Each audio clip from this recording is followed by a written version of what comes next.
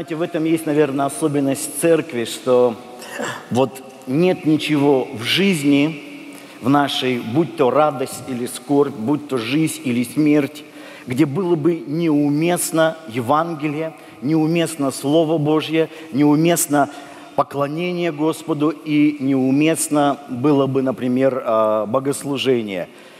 Это всегда уместно, потому что Господь охватывает как жизнь, так и смерть, как наше земное бытие, так и вечность. И когда мы поклоняемся, вот на похоронах всегда прекрасная возможность там Диана пела некоторые гимны, там, конечно, собираются не только верующие, там было много неверующих. И знаете, где как не на похоронах люди так внимательно слушают проповедь Слова Божьего. Я сам в своей жизни пришел к Богу. Я знаю, что у всех разные пути к Богу. Кто-то через страдания пришел к вере, кто-то через болезни. Вот я в своей жизни не имел никаких страданий, когда пришел к Богу. Мне было 17 лет, я был студентом, я хорошо учился, у меня было все в порядке со здоровьем, у меня была любящая семья, у меня было очень много всегда друзей, у меня не было никаких как бы таких э, повседневных особых проблем или бед, но внутри меня всегда вот этот был вопрос, как это вот я так проживу, и однажды меня не станет. И вот этот вопрос небытия, как это вот меня не будет. И если меня не будет, то зачем тогда вообще жить, и какой смысл делать добро или зло, прожить достойно, хорошо, или непонятно как прожить. То есть какая разница? Вот. И если смерть, она все сводит на нет. Вот. И поэтому, когда я повстречался с верующими людьми, то один как бы из ключевых мест э, Писания для меня, которое меня сильно коснулось, это было слова Господа Иисуса Христа. Верующий в меня, если и умрет, оживет. Оживет. И у нас в церкви немало уже есть верующих за вот эти, э, уже практически скоро у нас уже сколько? 27 лет в конце года будет, как мы э, собираемся, служим, 27 лет со дня основания нашей церкви. И уже немало членов нашей церкви, не только уже здесь, но и там уже в вечности, да. И Людмила Галяминских, и Сергей Дру... Очень много, очень много у нас тех вот, кто уже там находится в вечности. И мы знаем, что у Бога нет мертвых. Есть мертвые тела, но если ты возрожден силой Божьей, ты живой. И мы будем вместе во веки веков. Поэтому, вы знаете, я так люблю, я так люблю когда мы в церкви собираемся, и я люблю иногда, давайте, говорит, возьмемся за руки, помолимся, потому что, знаете, вот некое ощущение общности, ощущение тела Христа, вот, вот это то, что необходимо как раз, когда тебе трудно, когда тебе тяжело, когда, может, какие-то страдания или скорби, но ты берешь руку брата или руку сестры, и ты молишься вместе вашему небесному Отцу, Творцу, который послал на эту землю своего единородного Сына, дабы всякий верующий в Него не погиб, но имел жизнь вечную вечную. И вы знаете, несмотря на страдания, несмотря на скорби, внутри появляется такая радость, такое счастье, вот именно блаженство не от твоих земных успехов или неудач, а именно блаженство от осознания, что ты в руках Всевышнего. И этот Всевышний, он не просто какой-то далекий Бог, но он твой небесный Отец, который любит тебя. Вот эти вот слова, которые мы можем говорить друг другу, Бог любит тебя, это же удивительные слова. Я думаю, нет ни одних слов, на земле, которые были бы сильнее этого. Повернись к ближнему своему и скажи, Бог любит тебя, Господь любит тебя. И повернись к человеку с другой стороны. Может быть, ты не хотел к нему поворачиваться, хотел к одному повернуться, а, а, а, а то тебе меньше. Но и ему тоже скажи, что его тоже Бог любит. Слава Господу. Бог любит тебя. И это же так здорово, что Бог нас любит, а? И у нас в конце будет причастие, мы будем вкушать хлеб и вино, вспоминая о великой смерти нашего Господа, потому что Иисус не просто воскрес, и мы радуемся, какой Он великий воскресший, но Библия говорит, что и мы воскреснем вместе с Ним, а? И поэтому апостол Павел говорит, ну, конечно, это печально, но мы не должны трагически впадать в скорби об умерших, потому что однажды мы все соединимся. И, как написал апостол Павел, так всегда с Господом будем. Слава Господу. Мы будем с Ним всегда. Мы будем. А земной наш путь, к сожалению, конечен. Но для нас это не расставание навсегда. Это лишь прощание на время. На время. Когда мы все соединимся под главою нашего Господа Иисуса Христа. И сегодня я хочу вместе с вами открыть послание к филиппийцам, первую главу. Вы знаете, я очень люблю послание к филиппийцам. Э, это, наверное, самое радостное вообще апостольское послание в Новом Завете, где апостол Павел много раз использует слово «радость».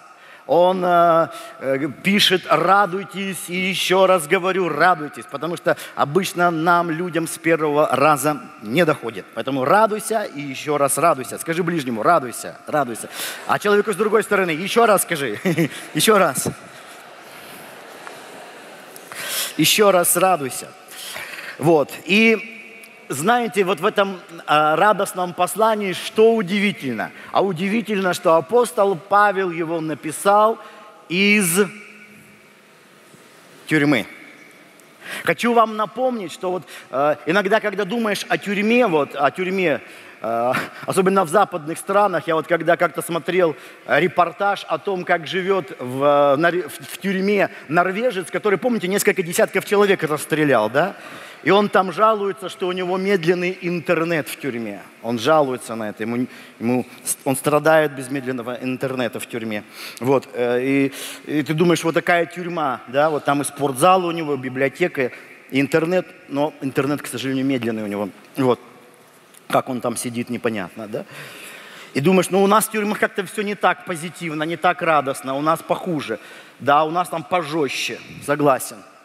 Но в то времена, в те времена тюрьма была несравнима ни с европейскими тюрьмами современными, ни с нашими даже. Там порой заключенные находились чуть ли не по грудь в воде, они там заживо гнили.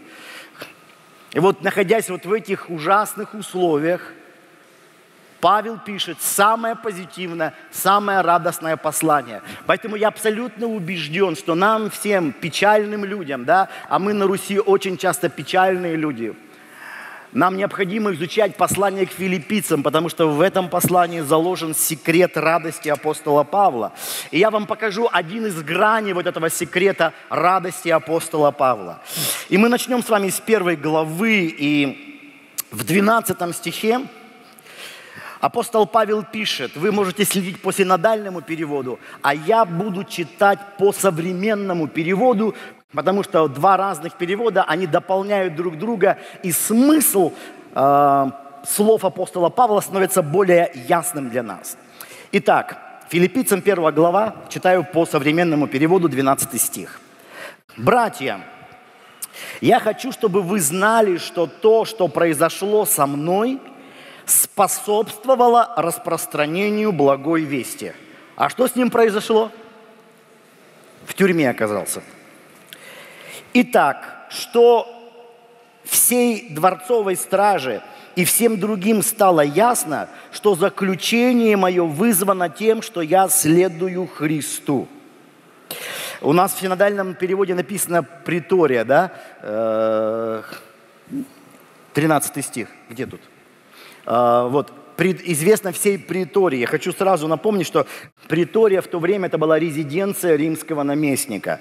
А, и там это было определенное здание, где была резиденция римского наместника. Например, Понтий Пилат, он судил Христа, находясь в притории. И в этой же притории э, были, были казармы, то есть там находились римские солдаты. И нередко в притории также располагалась темница – в частности, вот апостол Павел находился вот в такой темнице при притории.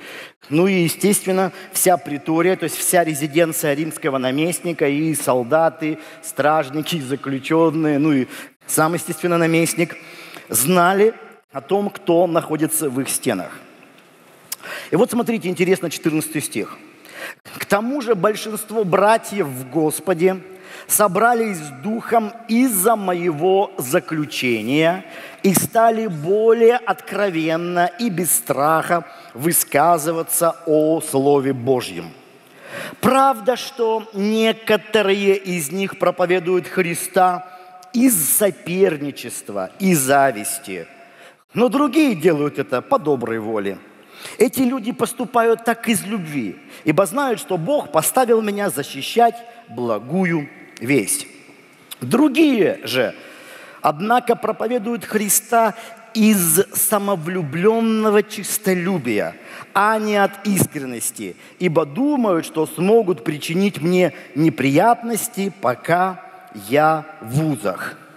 И вот тема моего, моей проповеди – это начало 18 стиха, правда, по современному переводу. Да разве это важно? Вопрос. У нас здесь стоит что? Но что до того? Мне очень нравится, вот в еще одном современном переводе российского библейского общества стоит такие слова. Ну и что? Вот это, наверное, наиболее соответствует, я вот смотрел тексту греческому. Ну и что?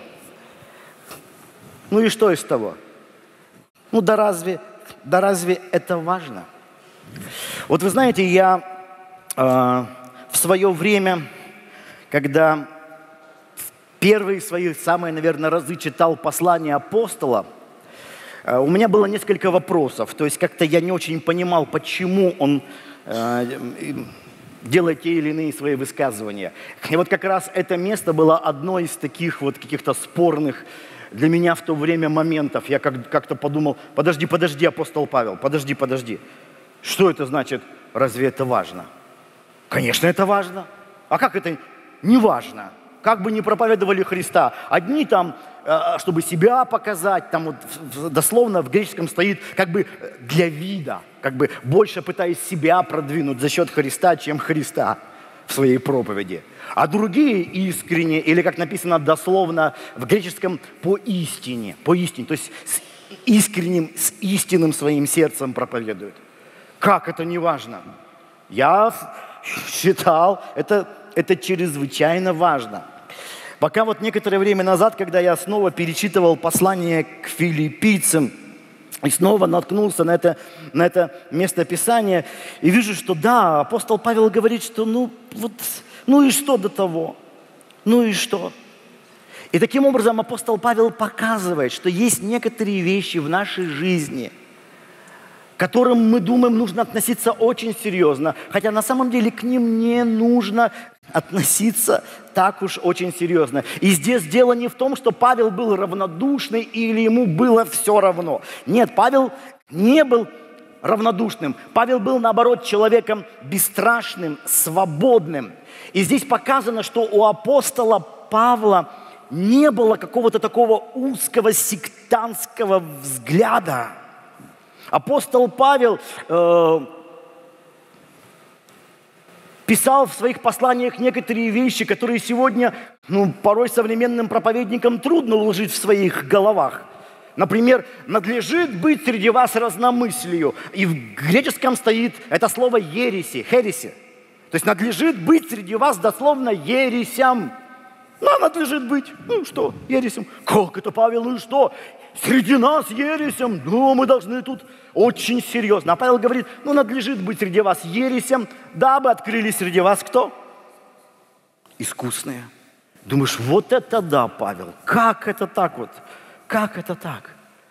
И, драгоценные, когда вот мы читаем его, его послание, мы видим, что апостол Павел порой спокойно относится к тому, к чему мы с вами вот совершенно, совершенно относимся неспокойно.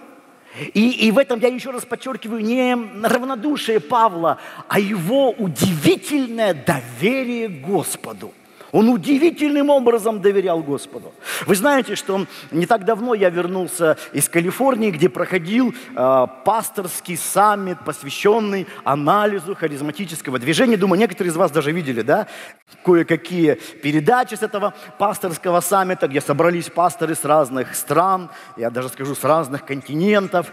И там, и там вот это обсуждали, и в том числе ереси, что такое ересь, да как, э, как, с ересями, как с ересями бороться. И вот среди нас есть такие проповедники, они какие-то вот не настоящие, что ли, лицемерные, на показ это все делают, и мы должны их выявлять как-то, мы должны их на чистую воду выводить как-то.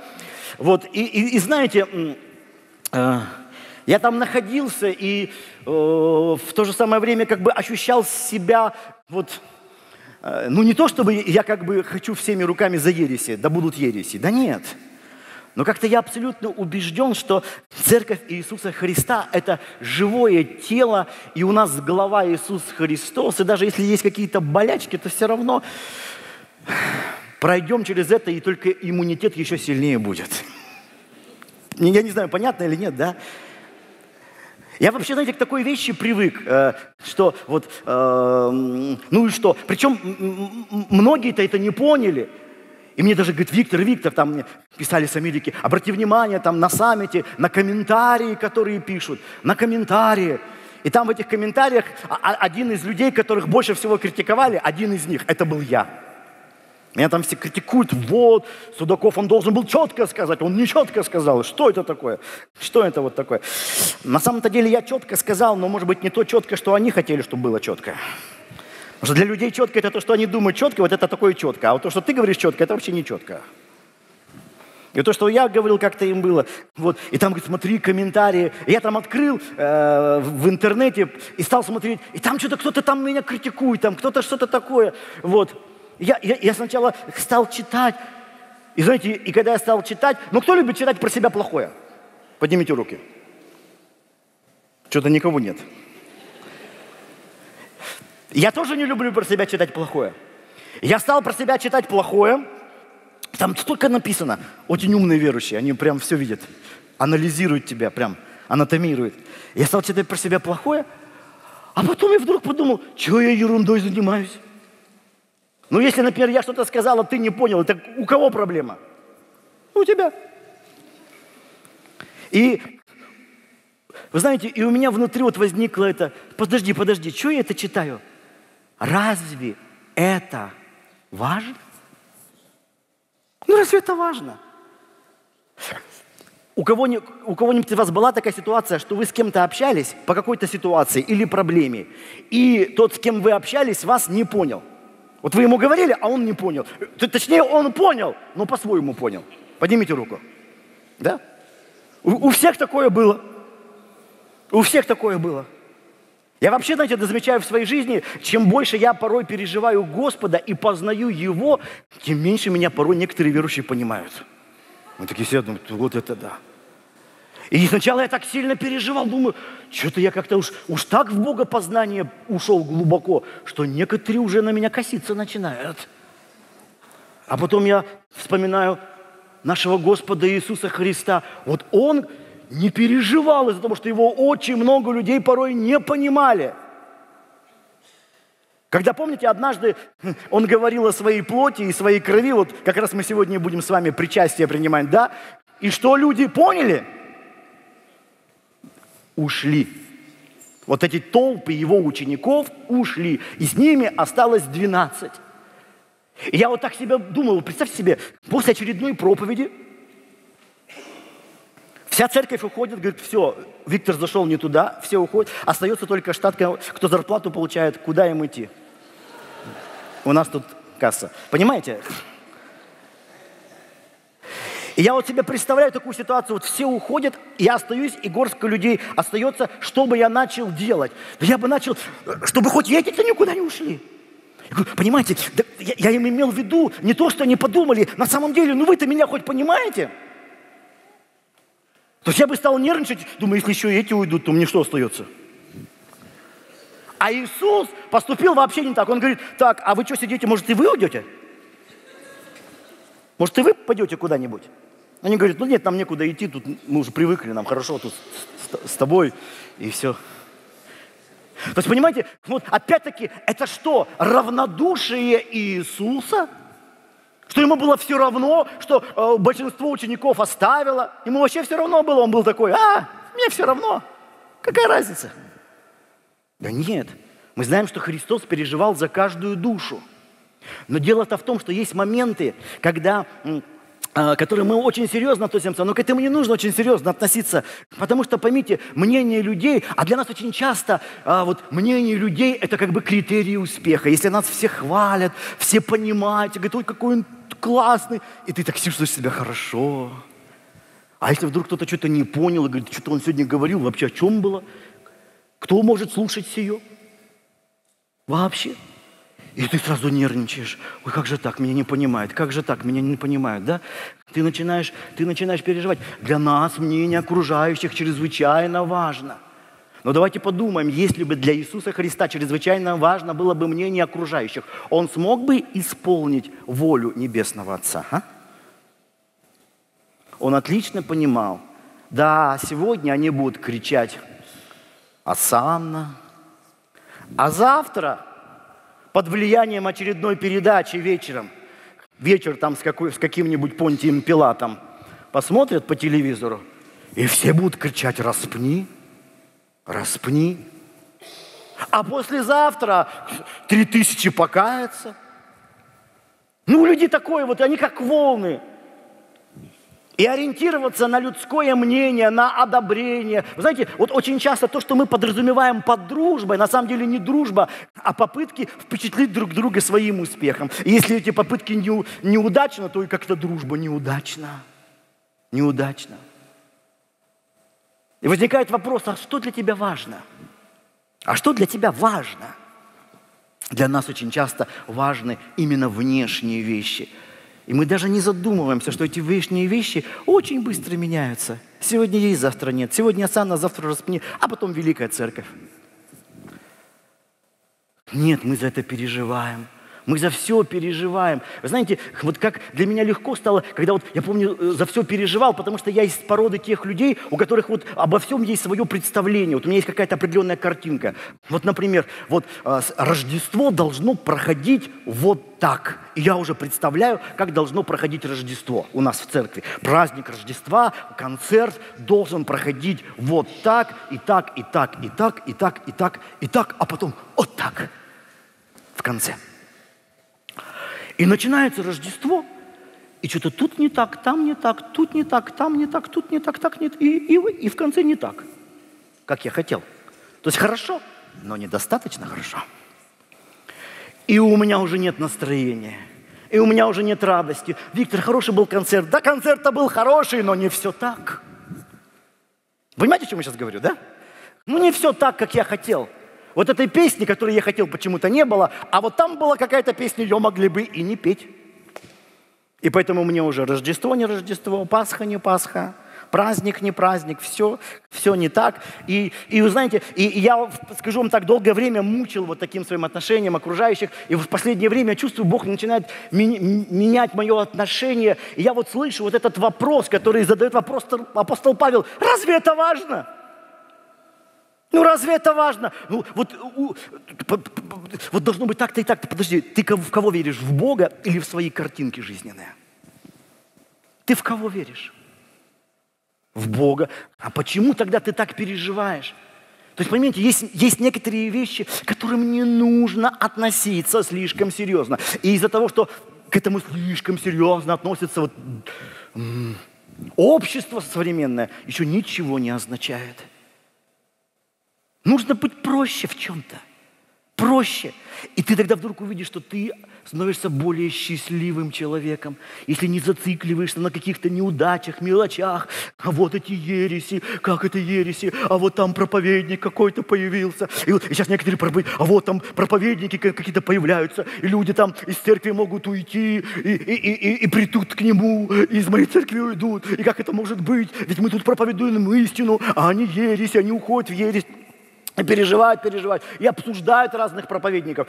Я помню, у нас было пасторское собрание, мы там не только на саммите были, но еще между, э, между этими сессиями саммита общались. И я говорю, братья, да слава Богу за этого проповедника и за то, что все к нему уходят. На меня так все посмотрели, говорят, в смысле, пастор? А я говорю, так на то и щука, чтоб карась не дремал. У нас постоянно какие-то появляются, там кто-то уходит, кто-то приходит. Это постоянно держит нас в тонусе, понимаете? А если бы у нас была всего одна церковь евангельская, новая жизнь, и вообще никакой другой церкви не было бы. И мы бы такие сидели, и все, пожалуйста. Что нам тут шевелиться, что нам что-то э, двигаться дальше, развиваться? О, у нас тут, знаешь, молодец среди овец. Никакой конкуренции. Но Библия говорит, что железо железо острит. То есть, когда кто-то там появляется, и там что-то интересное, это дает тебе стимула. Да ты не сиди спокойно. Что-то давай иди дальше, двигайся, развивайся. Понимаете, о чем я сейчас говорю, да? А вот там есть какая-то группка, вот там у них это. Слава Господу, давайте здесь молиться, потому что Бог не только их любит, но и нас любит. Или мы верим, что Бог их любит, а нас вообще не любит, и оставил нас тут, бросил всех. Сидите тут без духовных даров и без исцеления, а? А, там не настоящее исцеление, там придуманное исцеление. Ну, пускай. Но мы-то должны молиться о настоящем. Мы же верим, что должно быть настоящее, а? А вот там лжепророчество постоянно. Давайте изобличим этого лжепророка. Давайте какую-то ересь лжепророка. Послушайте, да что нам до этого лжепророка? Давайте искать Божьего и искать нормальных пророчеств. А? Ну почему мы все время концентрируемся вокруг плохого и из-за этого переживаем и переживаем, переживаем и переживаем, переживаем и переживаем, переживаем и переживаем. Я вот, знаете, хочу такую вещь сделать. Вот давайте, пожалуйста, буквально на несколько, ну, на короткое время встанем все. Из уважения ко мне, встанем все. Молодцы. Все встали. И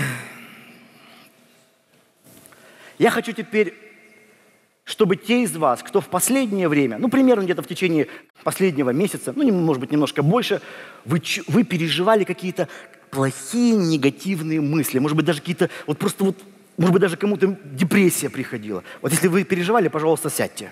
Вот если за последнее время какие-то вот, что даже, может быть, кому-то жить не хотелось. Хорошо. Если кто-то из вас в последнее время пережил потерю какого-то близкого для вас человека, близкого, дорогого родственника или очень близкого друга, тоже, пожалуйста, сядьте. Если кто-то из вас в последнее время пережил какое-то несчастье, вот что-то там где-то случилось, либо на производстве, где-то на работе, что-то такое, вот, вот какая-то, ну то, что мы называем беда, тоже, пожалуйста, сядьте.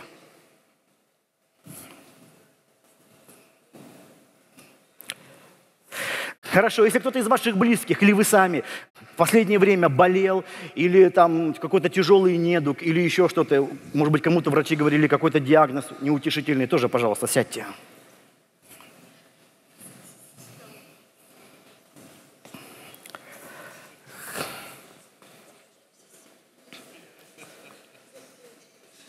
А теперь посмотрим на этих стоящих счастливчиков, а?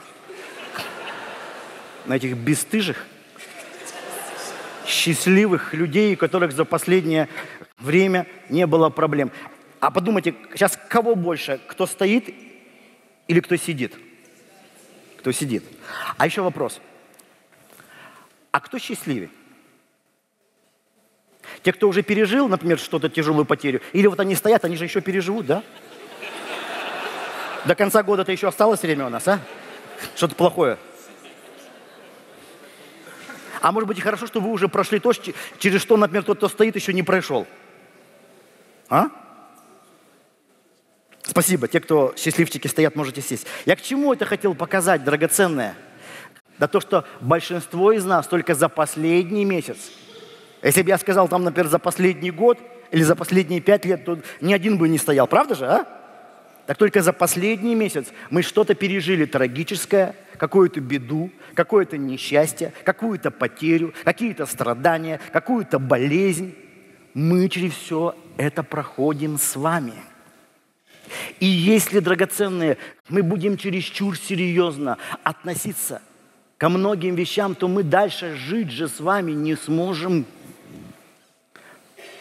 Если мы будем мерить нашу жизнь критериями только внешнего успеха или внешних каких-то достижений, или вот как некоторые думают, вот я родился для великого. Вы знаете, с одной стороны, хорошо вдохновлять себя на большие вещи, но с другой стороны, есть, понимаете, есть другая грань. Когда ты, я великий человек, я, я Бог мой небесный Отец, я рожден для великого, для великих свершений, я чувствую, вот они грядут. Вот есть обратная сторона у этого. С одной стороны, хорошо, как я сказал, быть нацеленным на большие вещи. Но с другой стороны, если ты будешь мерить себя какими-то великими критериями, то ты можешь прийти к такому неутешительному выводу, что ты полный неудачник. Помните, я рассказывал вам про Андрея Миронова, который в, одним, в одном из последних беседе со своими друзьями перед смертью – Ему как раз было 46 лет, когда он умер. Вот мне сейчас 46 лет, я смотрю, думаю, я уже прожил, сколько Андрей Миронов прожил, да? И этот Андрей Миронов сказал, что его жизнь не удалась. Актер, которого любила вся страна. Сейчас молодежь уже Андрея Миронова не знает. но более старшее поколение. Был ли еще такой любимый актер, как Андрей Миронов, а? Один из самых любимых актеров. Но что-то в его жизни же не удалось.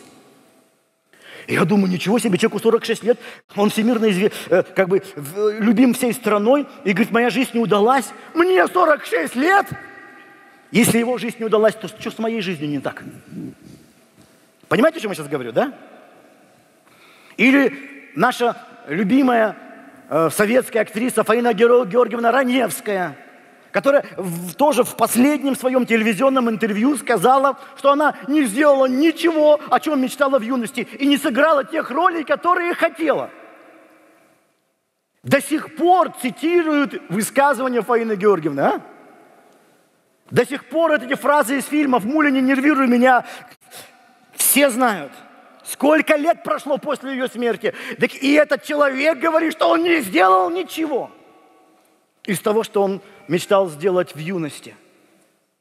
И ты думаешь, если уж Фаина Георгиевна ты ничего не сделала, то я-то кто тогда вообще? Я-то кто тогда вообще? У нас у всех, знаете, заложена какая-то идея, памятник себе воздвичь нерукотворный. И нам иногда кажется, что можно такое сделать, что вот на все человечество повлияет. Но в действительности, если мы с вами подумаем, время приходит и как песок засыпает. Я помню, даже, знаете, вот э, в моей юности, когда мы учили в школе, ну вот Пушкин, свет русской поэзии. Сейчас уже я смотрю, де, у детей в школе совсем другое отношение к тому, кого мы называли в свое время гениями. Уже не так.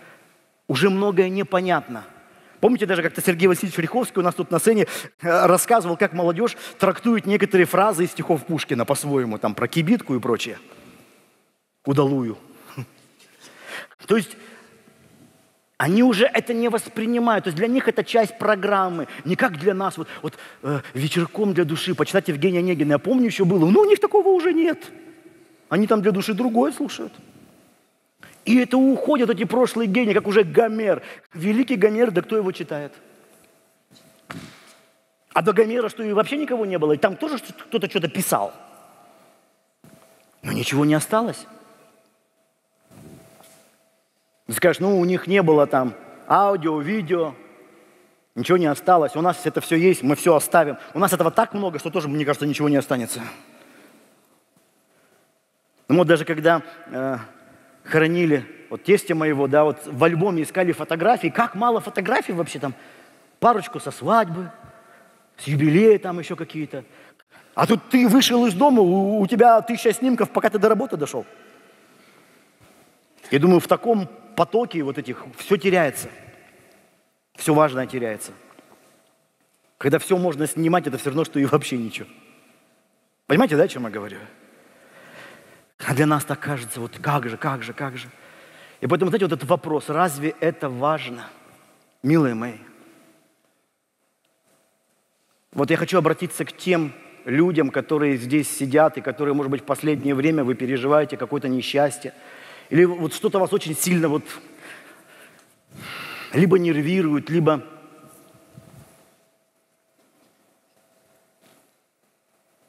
не дает вам нормально уснуть.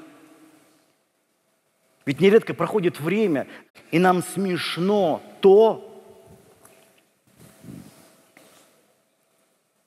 о чем мы так сильно когда-то переживали – Я помню, как я сильно переживал в 10 классе перед экзаменами.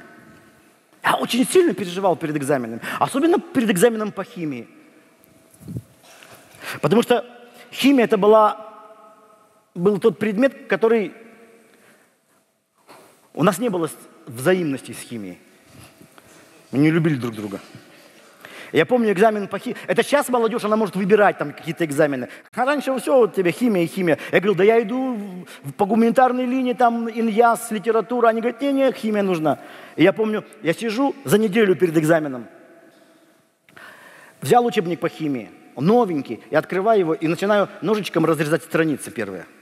Они еще так, из типографии почему-то раньше, вот они не все были. Я разрезаю, начинаю читать, прочитал первые две страницы и понял, что даже разрезать не нужно. За неделю я это не пойму.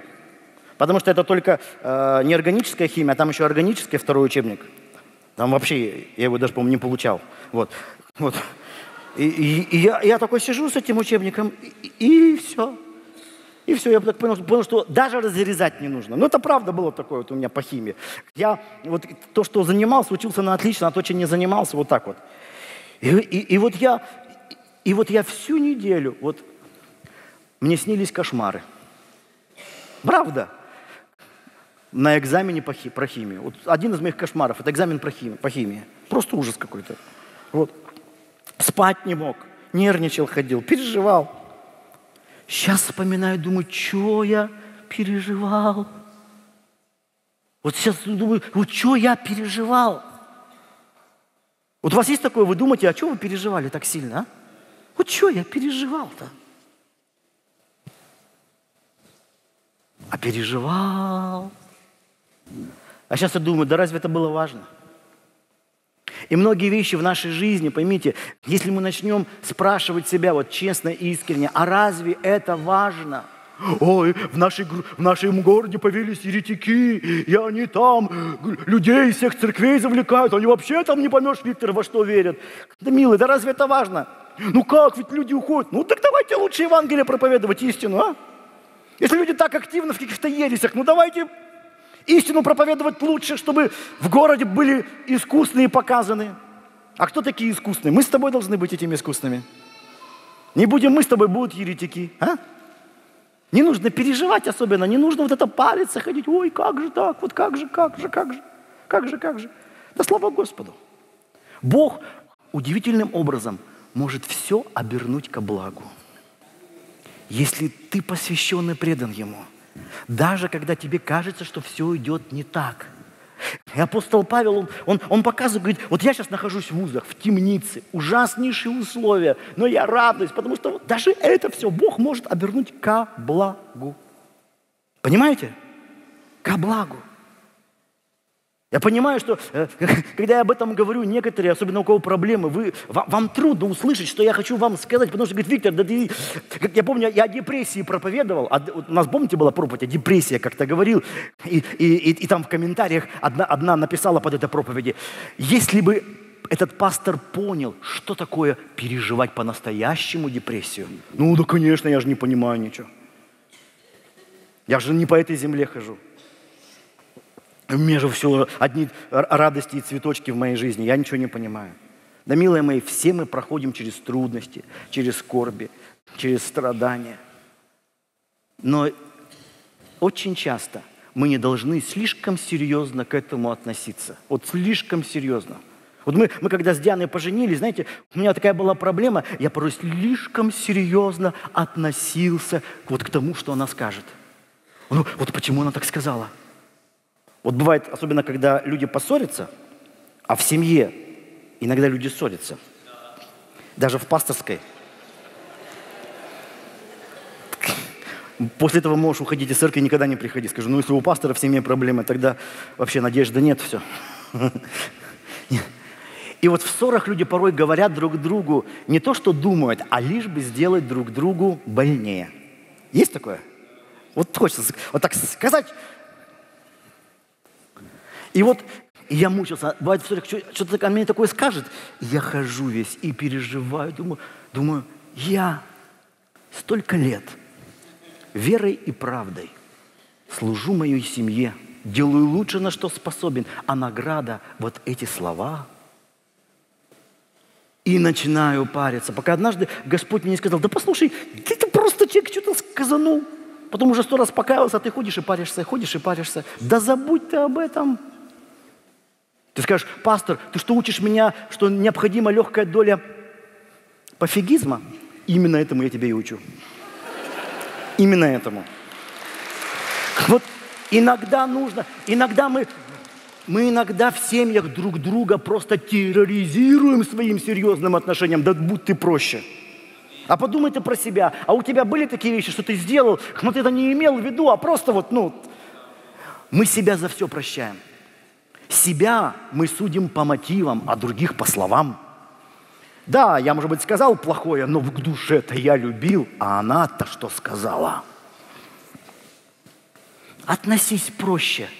И ты вдруг увидишь, что вам будет проще проходить через многие сложности и трудности, потому что мы люди, и мы ошибаемся.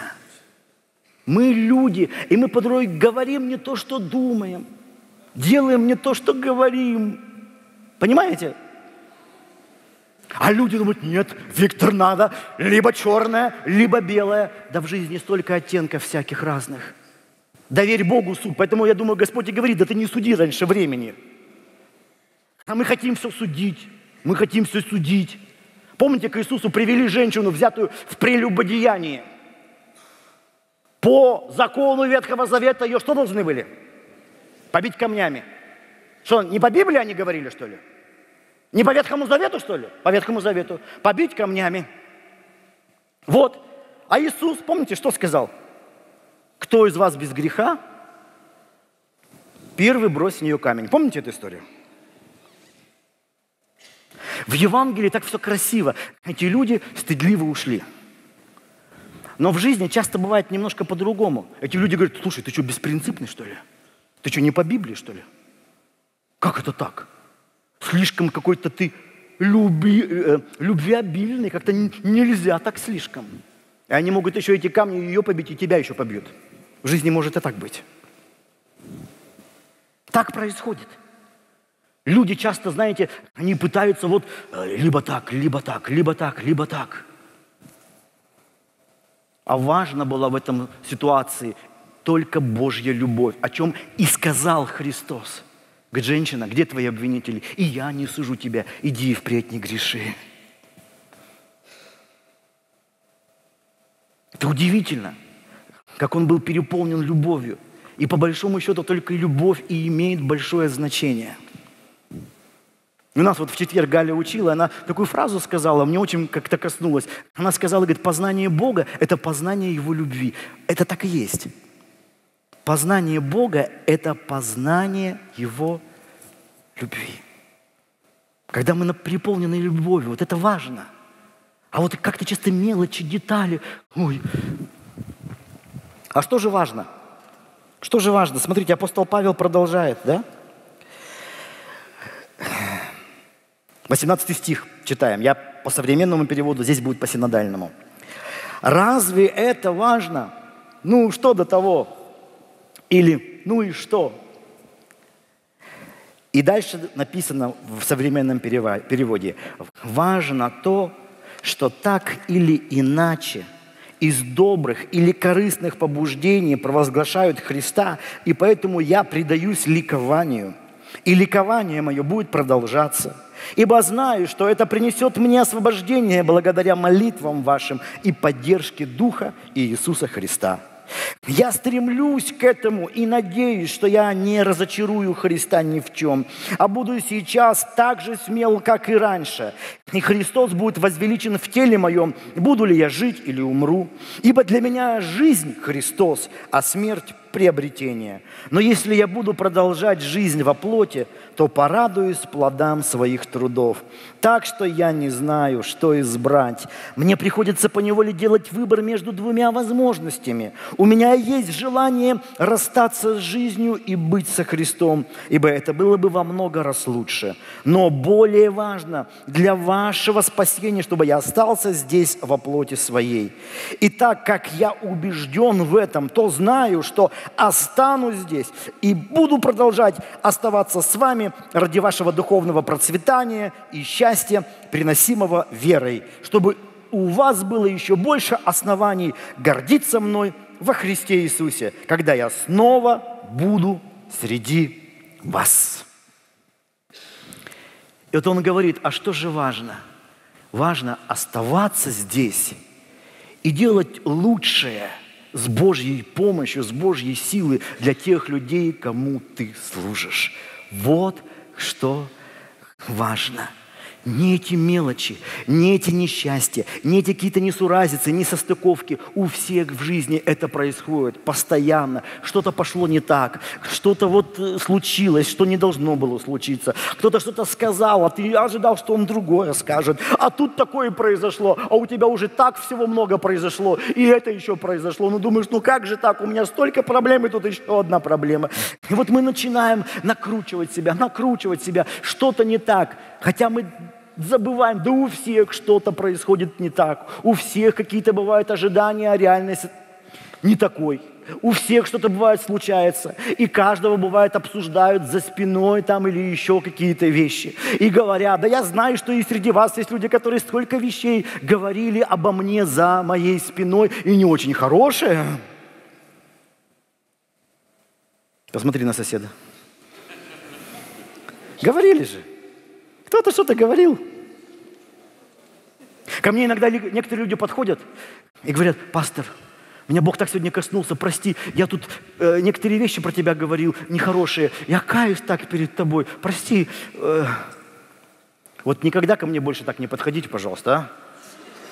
Нет, потому что я вот выхожу на сцену, смотрю, и ничего не знаю, так всех люблю.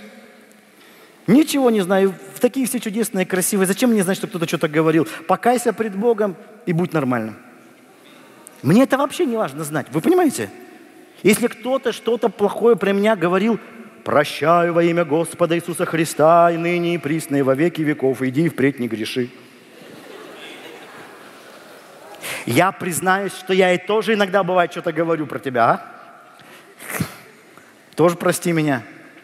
Ну, мы иногда друг другу не нравимся. Но мы же семья.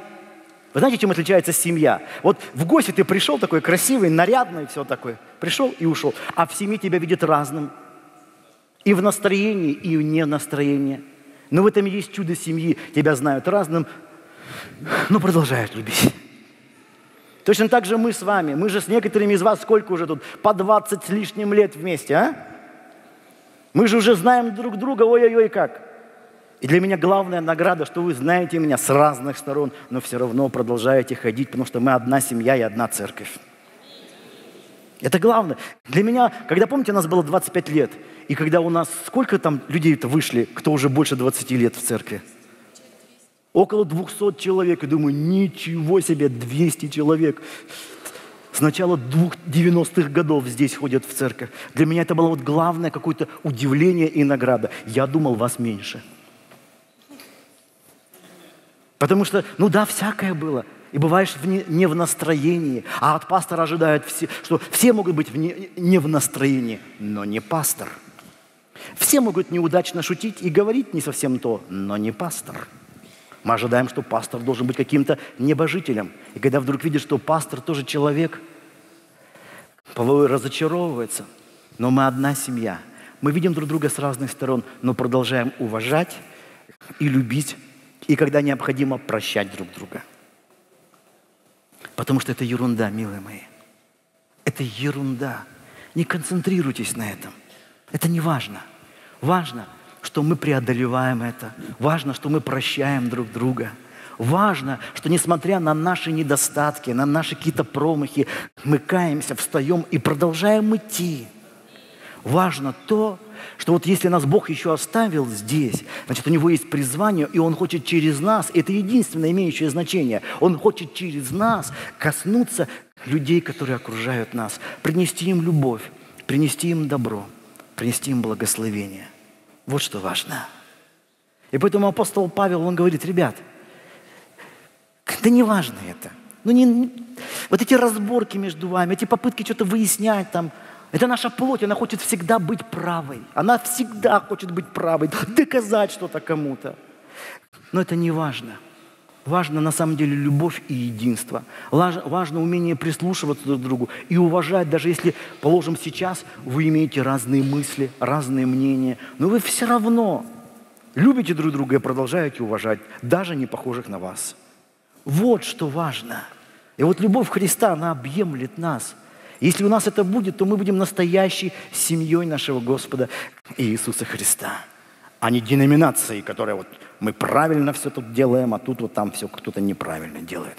Нет, мы семья, Мы семья Господа Иисуса Христа. Мы любим друг друга, мы ценим друг друга, мы уважаем друг друга, и мы стремимся, поскольку нас Бог еще оставляет в этом теле, исполнить Его призвание на этой земле. И мы изменяемся, мы преобразуемся, мы извлекаем ошибки, э, уроки из ошибок и продолжаем идти дальше. Вот это важно. А то, что там кто-то что-то сказал, сделал, да прости ты, да примирись ты – да отпусти. Некоторым из вас нужно отпустить кое-что из своей жизни, которое вас вот гнетет. Там кто-то что-то сделал, сказал, да прости ты, отпусти, это не важно все. Люди, бывают, столько делают глупых вещей, ну сам по себе можешь судить. Но тем не менее, мы продолжаем идти, потому что одно только важно – быть с Господом, развиваться и двигаться дальше. И все это скажут. Давайте прямо сидя – Возьми руку ближнего. Вот что важно. Важно, что мы можем собраться и держать за руки друг друга. А? Важно, что мы можем любить друг друга не похожих. Важно, что мы можем служить друг другу. Важно, что мы можем прощать друг друга. То, что в мире там люди бывают на всю жизнь запоминают, а мы здесь можем прощать друг друга. Кто из нас не делал ошибок? Кто из нас не делал того, за что нам потом бывало стыдно? А? Сколько мы делали, да? Так вот будь к другим милостив так же, как ты милостив к себе. Бог нас прощает. Тебе ли не прощать своего ближнего? И когда что-то идет не так, и тебе кажется, что все плохо, помни, Бог не потерял своей власти. Он не потерял своего контроля – он не потерял своего могущества. Он не потерял этого. Он все держит в своей руке. Конечно, мы стараемся делать лучшее, что можем. Но если что-то идет не так, и как-то вот не совсем, как мы думали или планировали,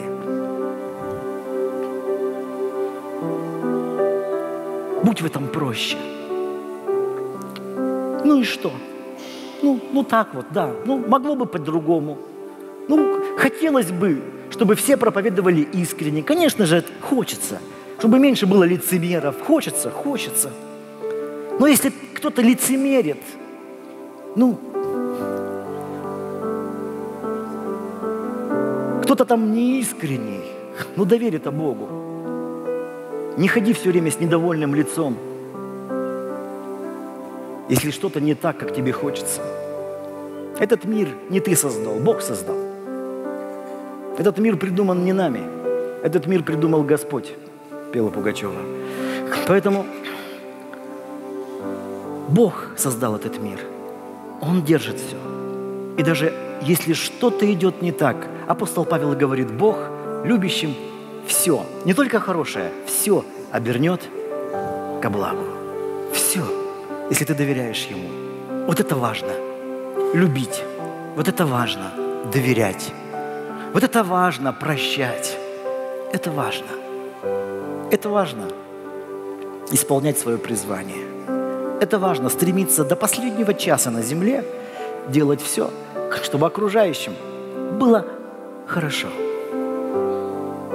Как сказал поэт, хоть немножко светлей. Вот хоть немножко светлей, чтобы было окружающим. Вот это важно. Чтобы ты нес свет. Это важно. Всемогущий Господь, спасибо Тебе за то, что Ты собрал нас, таких непохожих, таких разных, таких отличающихся друг от друга. Ты собрал нас, Господь, и простил. Да, Боже, мы делали вещи, за которые нам порой стыдно. Но Ты простил нас. Ты покрыл нас своей милостью. И это важно – ты возлюбил нас, когда мы жили еще во грехах, и это важно.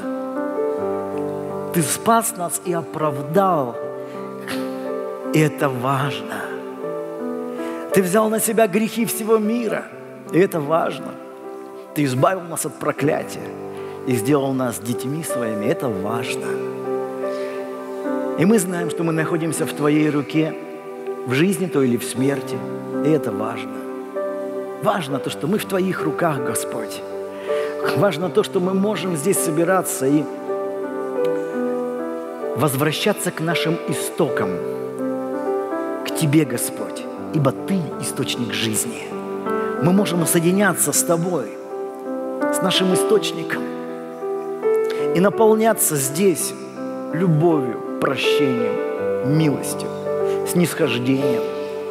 Не участвовать в этих межцерковных разборках, в этой религиозной политике, а служить Тебе и быть настоящими, Господь. И быть настоящими.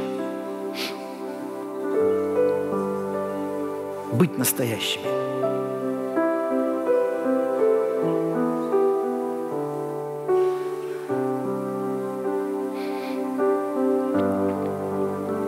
Молю Дух Святой прямо сейчас, исцели, Боже, чье-то сердце, у которых, возможно, какие-то глубинные переживания. Бог, я молю, чтобы прямо сейчас этот человек возложил это на Тебя. Свои проблемы, скорби на Тебя. Ибо Ты заботишься о нас.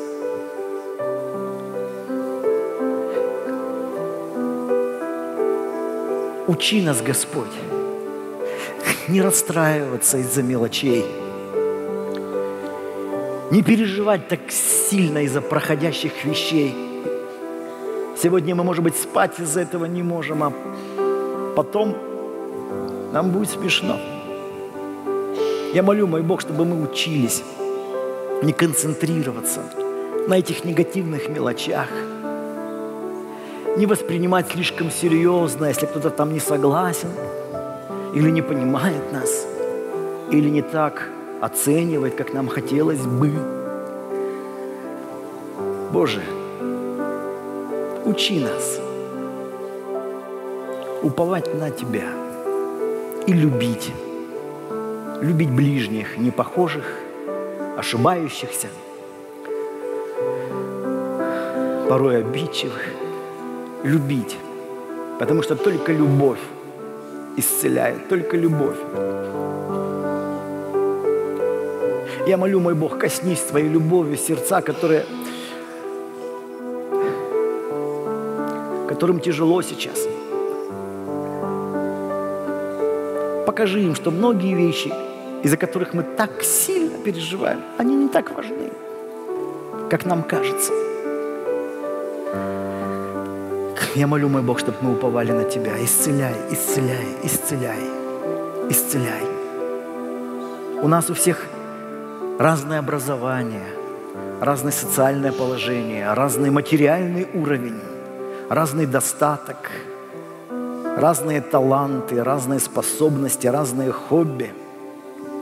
Но у нас один Бог, одна вера. И ты призываешь нас любить друг друга, не похожих – таких отличающихся друг от друга, любить и принимать. И сильные среди нас не те, кто возвышаются и подавляют, а те, кто сносят немощи бессильных. И наибольший среди нас тот, кто всем является слугой. Я молю, мой Бог, чтобы евангельские ценности были в нашей жизни, ибо это важно. То, насколько мы лично следуем за Христом, вот это важно. То, насколько мы жаждем и алчим правда, это важно. Благослови Господь. Благослови Иисус.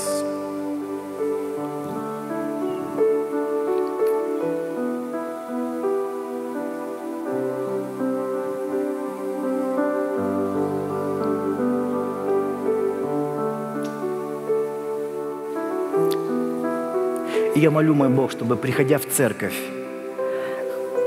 мы могли ощущать теплоту рук друг друга, теплоту сердец друг друга, теплоту отношений.